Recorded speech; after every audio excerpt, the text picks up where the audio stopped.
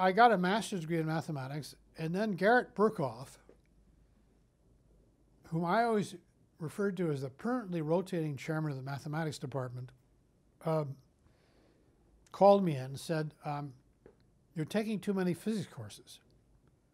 You've got to decide what are you, a physicist or a mathematician? Well, uh, by this time, um, I knew mathematicians. I knew my tutor, George Mackey, and I knew some students who were mathematicians. And I knew that I was not a mathematician. I, I, I could I was I was a good math student. I got A's in my courses.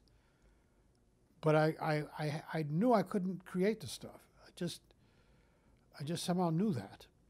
And also I knew that my understanding was not understanding I remember there was an Indian, Abhyankar. I lived in a graduate dorm and I came in one day and there was an Indian sitting on my bed.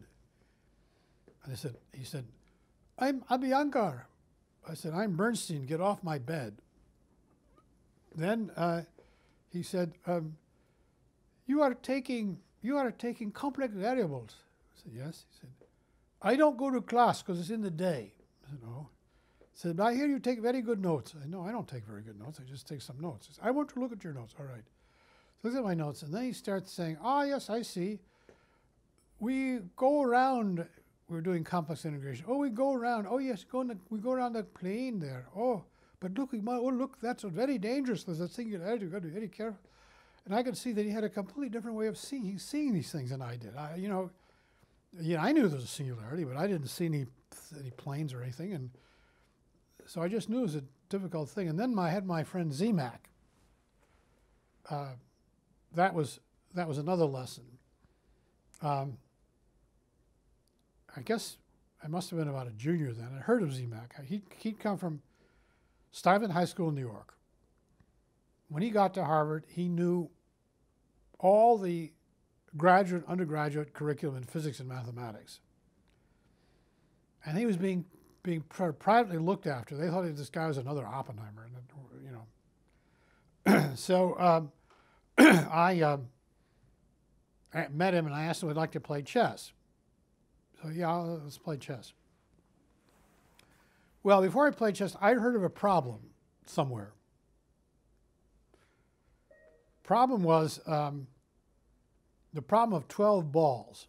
You have 12 identical balls, uh, one of which is, is heavier or lighter, and you have a scale balance. And you have to find a method of three ways tell which is the guilty ball that's heavier or lighter. And um, I stayed up all night and solved that problem. I was very, very pleased with myself. So we were sitting there, and um, I said to Zemach, um, by the way, have you ever heard of the problem with the 12 balls? No, I know, I'm telling the 12 balls. So we're setting up the thing, and ZA said, oh, yes, I see how to do that. Also how to do that with N balls and M weighings. so I knew that this was there was another league here, another league. Um, but the thing you learn is that uh, if you're stubborn and, and work, you, you, you can, you, even though you're not that smart, you can do stuff, get stuff done.